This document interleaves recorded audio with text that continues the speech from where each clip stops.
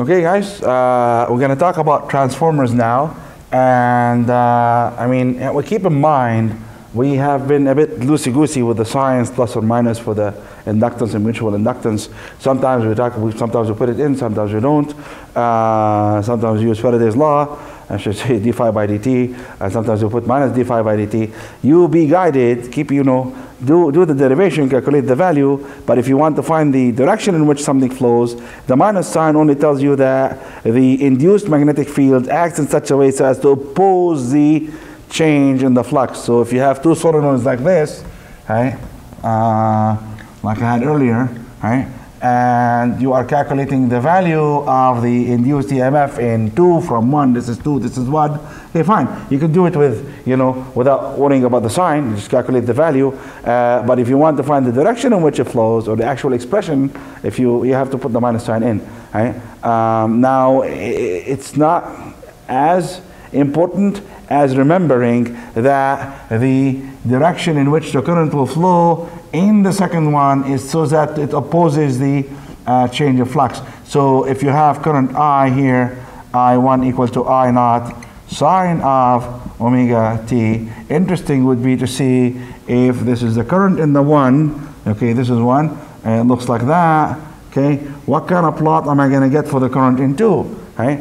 And you have to think about, you know, um, uh, uh, if you define that as positive, okay, uh, what does the current look like in 2? And that it's going to oppose the change in the current. You have increasing and decreasing, okay? You can use this to plot the, predict and plot, calculate, find the, then you have to be careful about the signs. You get the value, that's fine, but you have to either um, uh, keep the sign in there or uh, use Lenz's law to predict in which direction the uh, current is going to flow in the other in the other device. Okay, uh, keep in mind that when just calculating the value, you want to find the direction as well. Right.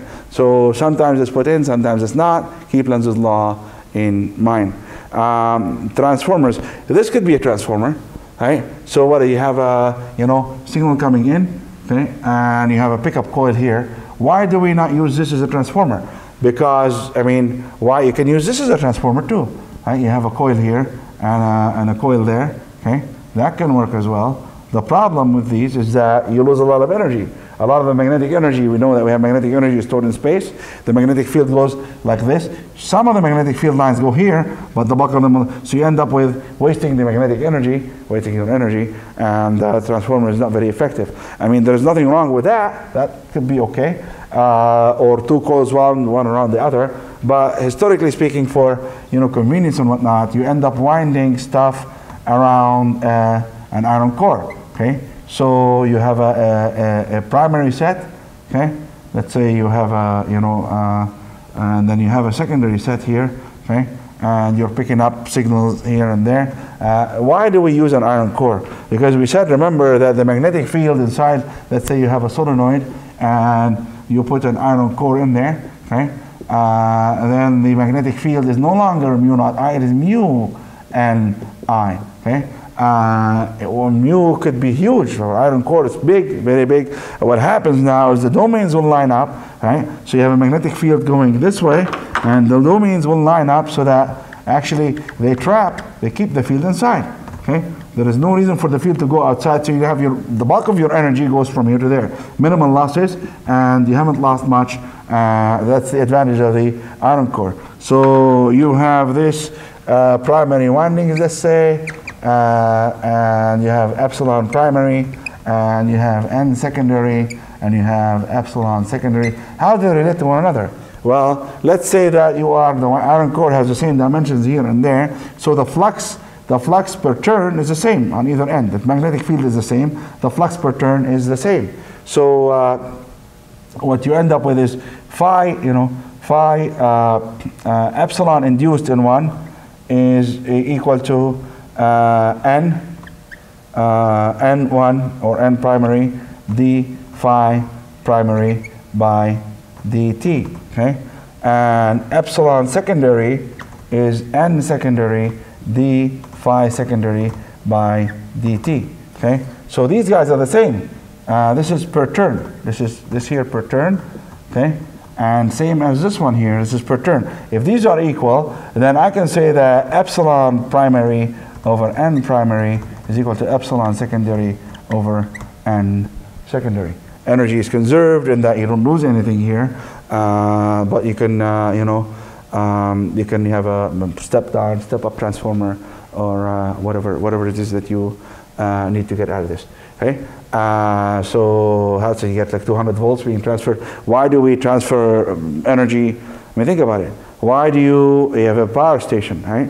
Why do you send stuff out at very high voltage, right? You think about that for a bit.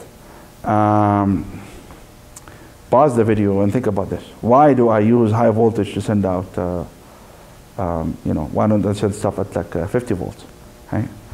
Um, I'll talk about that a little bit. Uh, let's let's uh, just think about that, guys. Right? Why do power stations transmit at very very high voltage?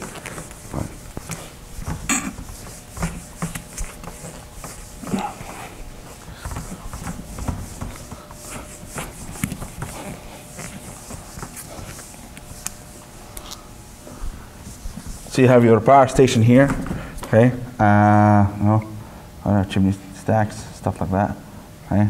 And you have your city there, okay? And it goes in, it goes out, it goes back this way, and you have a long transmission line, right? And you're transmitting at very high voltage. And why, what's the reason?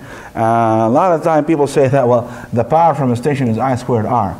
That's, you know, well, imagine if the resistance of the line is R, then we have a problem, right? We got a problem. And that, okay, if the power is I squared R, it's all going to R. What's going to light up all these houses? No, the power is not that. The power is equal to U times I. Okay? The power that the station puts out is U times, uh, sorry, V times I. U is V times I. Okay? So, yeah, the power lost in the lines, the power lost here is P is equal to I squared R. That is true. Okay? But that is not what the station puts out. Puts out I delta V or IV. Okay? And uh, some of that goes into I squared R. So you better make sure then, uh, what are you looking at now? You better make sure that I squared R is not a significant amount of IV. Now, how do you do that? Well, if you, your losses are I squared R, right? So you want to minimize I, you do that by cranking up V, the same power is being put out, you crank up V, you bring down I, I huge, huge losses if you increase the current. If you decrease the voltage by which you transmit the line, the, the, the, uh, the energy, you got serious issues in terms of losses, so that's why you transmit like 200,000 volts or uh, whatever it might be. Right? Um,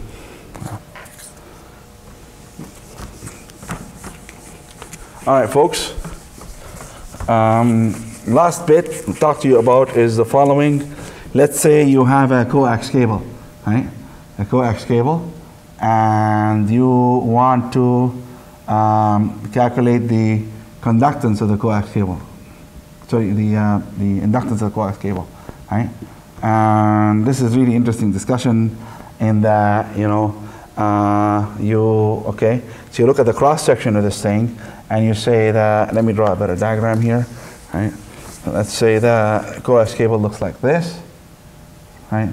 And it's long coax cable, so you're calculating the conductance per unit length. You can calculate the capacitance per unit length as well, okay? And let's take, take a cross section of this, and I'd like to calculate the inductance of this area here, this part here. This has length L, okay?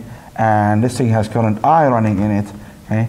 uh, how do I calculate the inductance of this thing? So we say the current I will produce magnetic field B. We did this example not, not too long ago. Okay, magnetic field B here, and that magnetic field is going to go down. Okay, uh, because well, what? Okay, because you know Ampere's law. Okay, says uh, B is equal to mu naught I over 2 pi r. And okay, so what is the flux going through an area like this?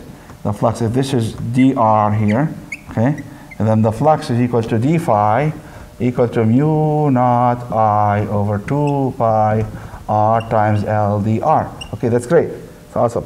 So now then the magnetic flux, the flux is equal to uh, phi is equal to the integral of d phi, integral of mu naught I over 2 pi r times LDR, okay? As we go from, let's call this A to B, okay? And this is B, right? And we're calculating the inductance of this part, right? Uh, so A to B, and that's going to be something you've seen before, mu naught I over 2 pi times L multiplied by ln of B over C. So the inductance now, guys, inductance L is equal to phi over I. But we really calculate the inductance per unit length because it becomes messy, otherwise it blows up on you, and that becomes equal to mu uh, naught uh, over 2 pi ln of B over A. Okay, that's cool. Now, that's straightforward, no problem there. Uh, I have posted for you, I'll post for you soon if I haven't posted yet, um, uh, a discussion on how to calculate the inductance of this part, okay? And that's a really interesting discussion. It connects to flux linkage and the fact that, you know, it, it becomes really interesting, okay? I won't be doing it here, uh, but keep an eye out for that to, to see how it's done. And one thing I will leave you with now is can you calculate the inductance of a toroid. Okay, so you know um, you have a toroid. This is wound like you know, try to do a good job with this. Okay, okay. Uh, so you have a toroid. Okay, and uh, first we'd like to see uh, we'd like to see uh, are we able to use Ampere's law to calculate the field inside a toroid. So what do you do in this case? You have a number of turns n and you construct your Amperian loop here and you say well the integral of b dot dl on the loop is b times 2 pi r is equal to mu naught i enclosed is n times i right so yeah so so it is the total number of turns in that so you can get the field from there right so you have the field and it depends on r as you know goes as 1 over r and how do you calculate the inductance of this thing or how do you calculate the total magnetic energy stored in this, right?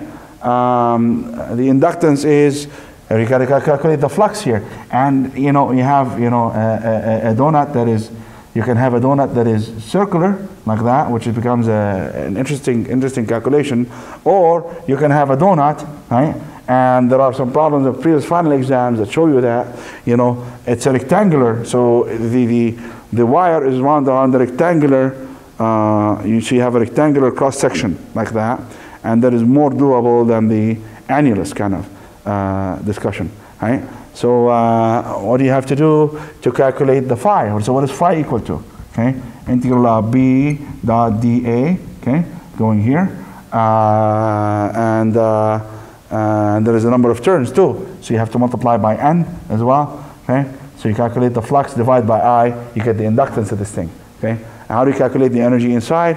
Either you do the integral of, uh, you know, uh, so the energy inside can be either given by 1 half L I squared, that's the total energy inside the, uh, the toroid, you calculate I, or you could do the integral of what, remember, the energy density, uh, B squared over 2 mu naught dot dV, okay, triple integral over the volume of the toroid. Okay, I'll leave you with that.